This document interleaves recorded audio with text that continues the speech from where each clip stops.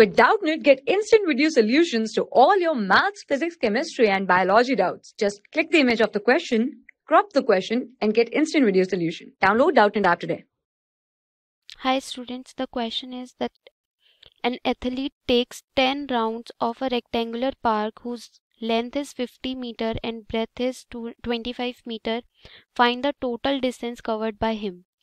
So the distance covered by the athlete in one round will be equals to the perimeter of rectangle whose length is given 50 meter and breadth is given 25 meter. So distance covered in one round in one round is equals to perimeter of rectangle perimeter of rectangle so perimeter of rectangle is twice into length plus breadth. So 2 into length is given 50 meter and breadth is given 25 meter. So firstly add 50 and 25.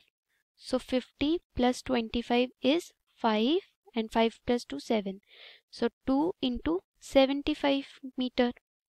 Now multiply 75 by 2. So 2 into 5 10 1 carry 2 into 7 14 15 so distance covered by the athlete in one round is 150 meter. Now distance we have to find distance covered by him in 10 rounds in 10 rounds.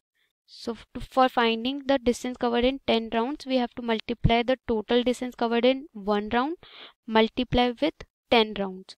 So 150 into 10 is 115 to 10 is 1500 meter. So the total distance covered by the athlete in 10 rounds will be equals to 1500 meters. For class 6 to 12, IIT JEE and NEET level. Trusted by more than 5 crore students. Download Doubtnut app today.